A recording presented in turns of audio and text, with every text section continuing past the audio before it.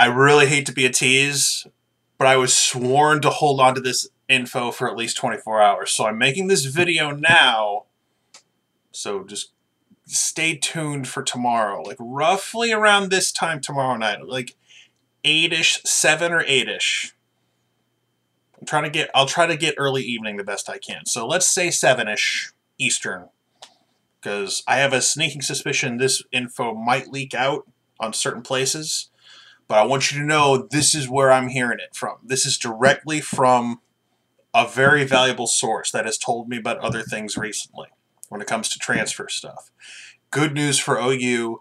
Um, it's someone that OU wants. That's all I'm going to say.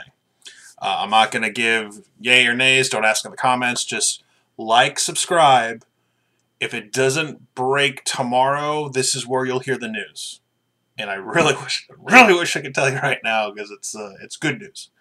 Um, but I, I, can't go into any further details. So look forward to tomorrow. Uh, I'll have a video prepared.